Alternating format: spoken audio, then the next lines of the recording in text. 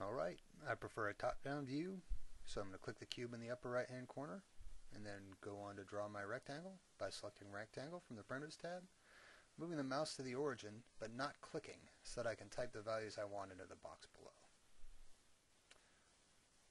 Now that my box is done, I can click the edit dimensions to check to see that the dimensions that I entered in are correct.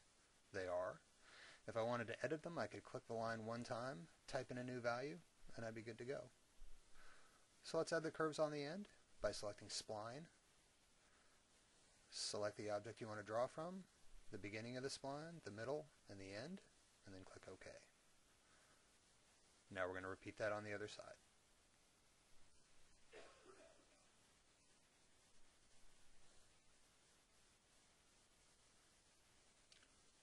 Okay, now we need to dimension those splines, so we'll click the gear, click Edit Dimensions, and single click that line to enter the value that we want,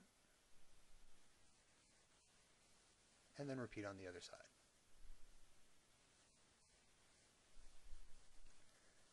And there you go. In 90 seconds we have created our basic two-dimensional geometric shape and we are ready for our next step, which will be extrusion.